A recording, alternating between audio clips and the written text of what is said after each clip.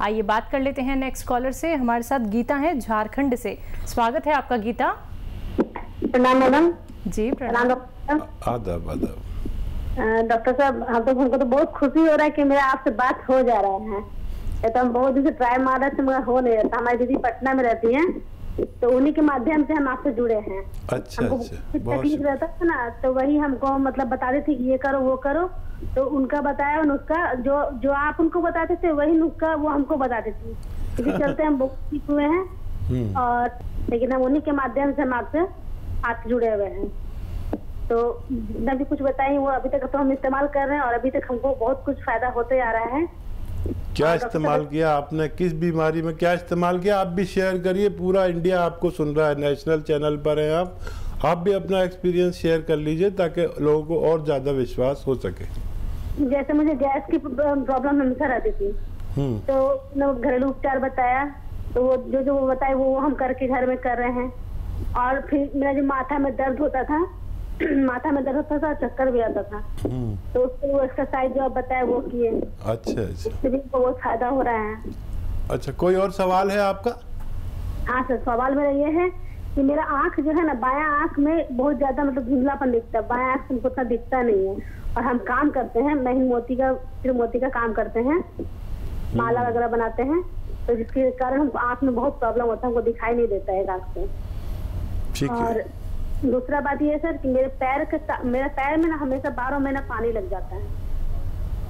पानी लग जाता है? पानी से मेरा पूरा पैर जो है ना एकदम खुरदरा खुरदरा हो जाता है। ठीक पूरा है। पैर का एकदम हट जाता है और खूब दर्द करता है मेरा। ठीक है ठीक है। आज देखिए कितने अच्छे अच्छे पेशेंट अपना शेयर कर रहे हैं बिल्कुल। हाँ, मुझे अच्छा लग रहा है आप लोगों से बात करके। और हालाँकि इतना वक्त नहीं होता कि इतनी लंबी बात की जाए लेकिन बहुत शुक्रिया आपका फीडबैक देने का। आपका जो आँख का मसला है इसमें एक गिलास गाजर का जूस रोज़ पिया करिए। हाँ, मुझे उम्मीद है कि आपको फ़ायदा मुमकिन है। एक महीना कोशिश कर लीजिए। और इसके बारे में दवाइयाँ भी आती हैं और आप बहुत मेहनती लेडी हैं। अपने हाथ से अपना काम करके अपना गुजारा करती है। मैं ऐसे लोगों को सलाम करता हूँ। और पैर दर्द के लिए आप गोंद सिया मंगा लीजिए। एक आधा ग्राम सुबह, आधा ग्राम शाम खाने के बाद खाइए।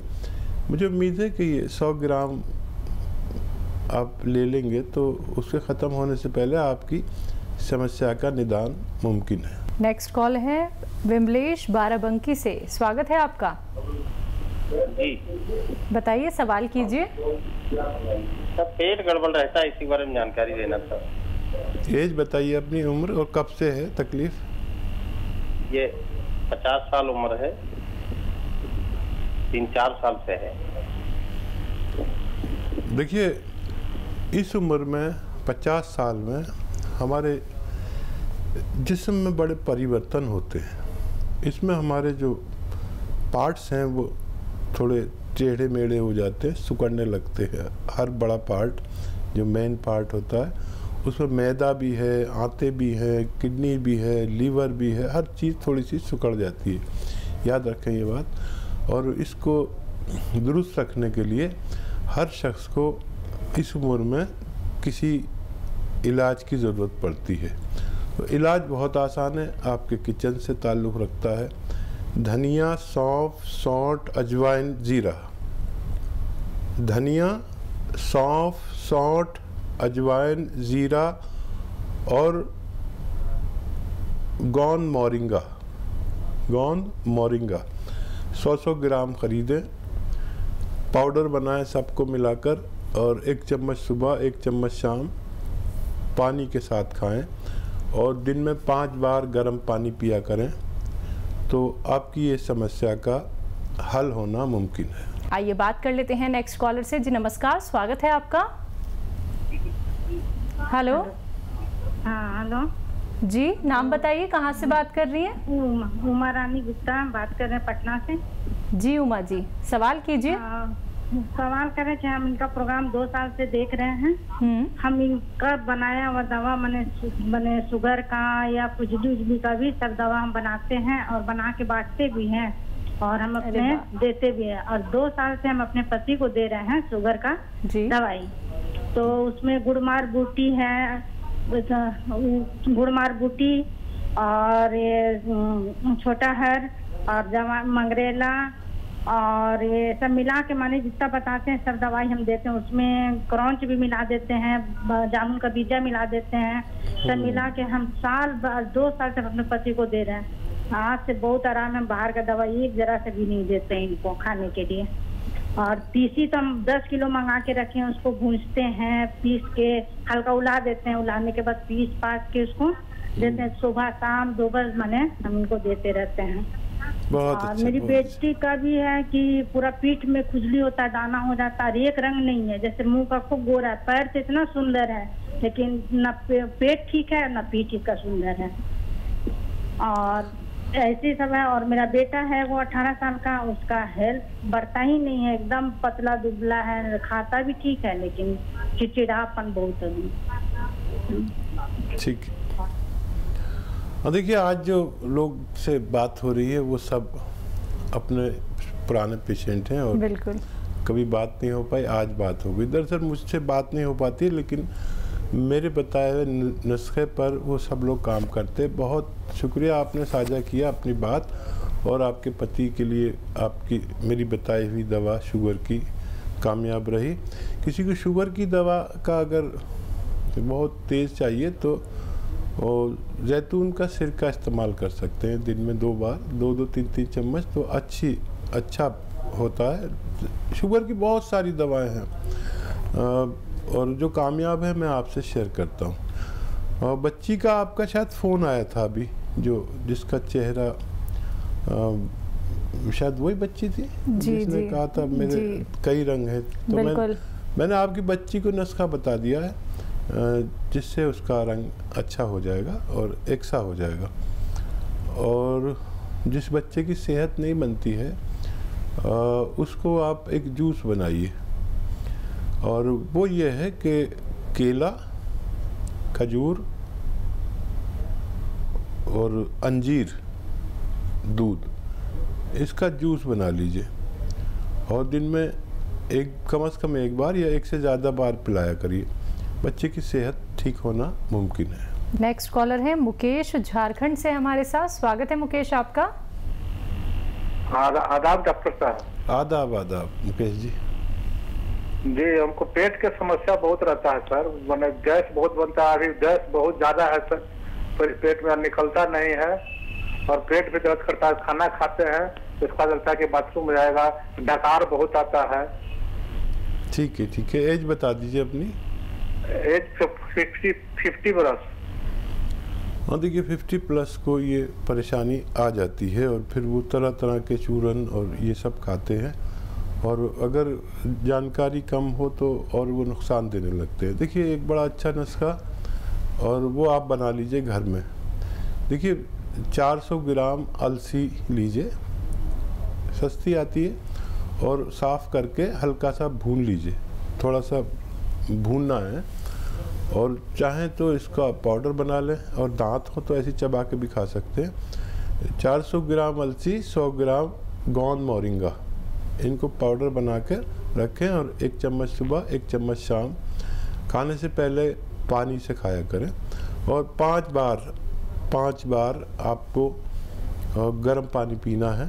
खूब ऐसा गर्म हो कि मैं खुद भी पीता हूँ ये पानी। और सेहत अच्छी रखने के लिए सबको कुछ ना कुछ करना पड़ता है। जैसे चाय पीते हैं ना इतना गर्म पानी चुस्कियाँ ले लेके आप पाँच बार पीजिए। आप देखेंगे अगर आज से आपने शुरू किया तो कल से आपको उसका रिज़ल्ट मिलना शुरू हो जाएगा। और ये मटेरियल जो मैंने बताया है आपको 500 ग्राम ये ख़त्म होने से पहले आपके रोग आपसे रुखसत हो सकते हैं। अगली कॉलर है सरिता दिल्ली से हमारे साथ। स्वागत है सरिता आपका। हाँ जी नमस्कार जी। जी नमस्कार। जी आदाब। हाँ जी मुझे अपने हस्बैंड के लिए बात करनी है जी। जी जी बताइए सरिता जी। नमस्कार सर। जी आदाब। सर हस्बैंड को कोलेस्ट्रॉल काफ़ी रहता है और घुटनों में भी दर्द होने लगा है और प्री डायबिटिक भी है एक तरह से। ठीक है ठीक है। और कम से कम दस साल से हो गए दवाई लेते हो उनको। अच्छा देखिए। भी बढ़ा रहता है जी। देखिए सरिता जी आप मेरी बात गौर से सुनना। पेन कॉपी है आपके पास?